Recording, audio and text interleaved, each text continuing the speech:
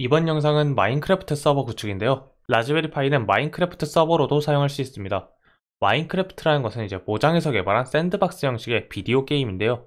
어, 매우 많은 유저들이 한 번씩 플레이해본 경험이 있을 정도로 재미있는 게임이며 아직까지도 플레이 유저가 꽤 있는 게임입니다.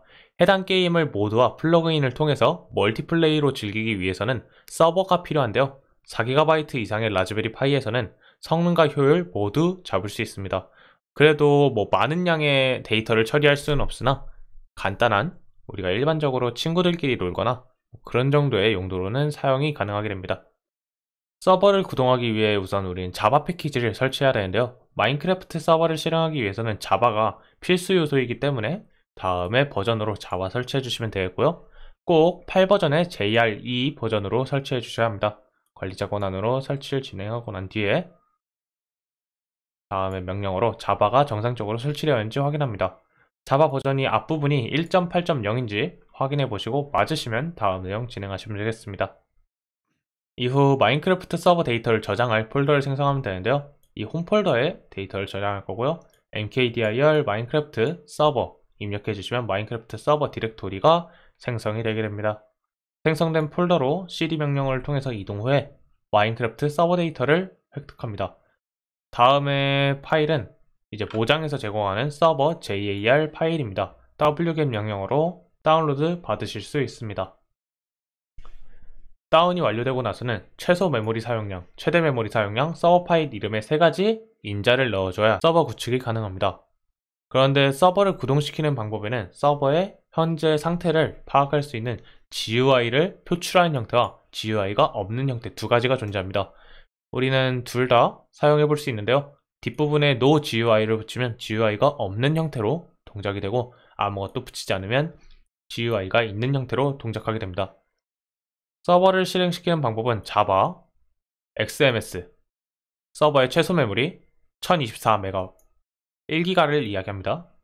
서버의 최대 메모리 1024MB, 역시나 1GB를 이야기하고요. JAR로 어떤 파일을 실행할 건지 적어줍니다. 우리는 서버 파일을 실행할 거기 때문에 서버 JAR 적어주면 다음과 같이 서버가 실행이 되는데 처음 서버를 구축하게 되면 다음에 약관 사항에 동의를 해야 합니다. 서버가 동작하다가 말고 다음에 파일이 생긴 다음에 서버가 종료되었을 텐데요. 관리자로 나노 편집기를 통해서 해당 파일 열어주신 다음에 이 약관에 true를 입력하여 약관에 동의를 해줘야 합니다. 이 다음에 다시 다음과 같은 명령어를 적어주시면 서버가 실행이 되게 됩니다. 실시간으로 로그와 메모리 사용량에 대해서 표시가 되고 우리는 마인크래프트 서버에 이제 접근을 할 수 있게 되는데요. 이전에 설명드린 것처럼 마인크래프트 port forwarding이 또 필요합니다. 실시간으로 로그와 port forward 설정에서 마인크래프트 그리고 라즈베리 파이의 IP 그리고 마인크래프트는 25565 포트를 사용하기 때문에 외부 포트를 TCP25565 내부 포트의 포트를 25565 TCP로 설정해 줍니다. 이런 식으로 설정한 뒤에 라즈베리 파이가 부팅되면 자동으로 서버가 시작되도록 우리가 추가적인 설정을 할 수 있습니다. 나노 편집기로 마인크래프트 서버 sh 파일을 열어줍니다. 이 안에는 다음과 같은 내용을 적어주셔야 하고요. sh 파일이 동작하기 위한 첫 번째 줄을 적어주고 이후에 sudo java 1024 1024 우리가 사용할 파일의 경로 이렇게 적어주시면 해당 스크립트 실행 시 자동으로 마크 서버가 실행되게 됩니다. 이 다음엔 change mode 777로 관리자 권한으로 해당 마크 서버를 실행할 수 있게 설정하는데요. 이런 식으로 적어주면 관리자 권한으로 파일이 실행될 수 있도록 구성이 됩니다. 이 다음에는 부팅 시 스크립트를 자동으로 작성하기 위해서 sudo nano etc rc local 파일을 수정합니다. 다음의 내용을 적어주게 되면 라즈베리 파이가 실행될 때마다 다음에 shell 스크립트를 실행하게 됩니다. 이 shell 스크립트를 실행하게 되면 당연히 마인크래프트 서버가 동작하게 되고요.